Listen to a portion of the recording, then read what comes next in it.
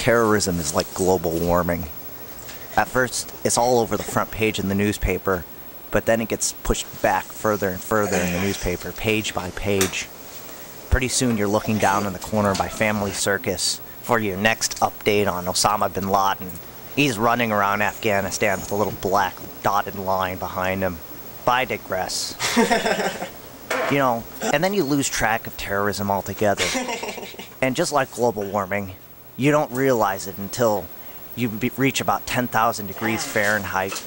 Then your whole family's dead in their backyard. That's where we come in. We're the guys that watch your backyard.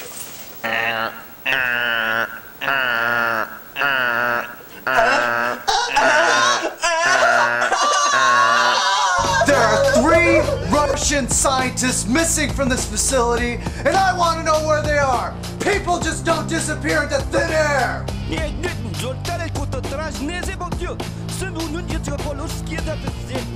General Sergei Melistakov is a known terrorist in the Ukraine.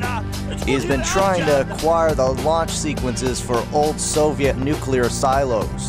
He may have just achieved that. This is the crypto I asked you for? Yes. Mr. President, Mrs. President, the crypto you asked for. Love this, you son of a bitch! It's been so long without conflict, and now it's come to this. Do what you have to. The American people are behind you.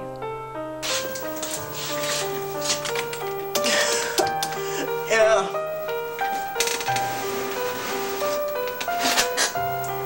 We have the key card. We gotta launch.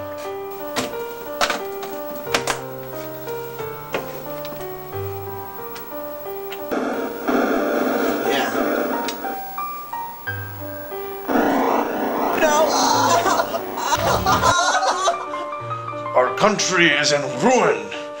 You have destroyed all of our villages.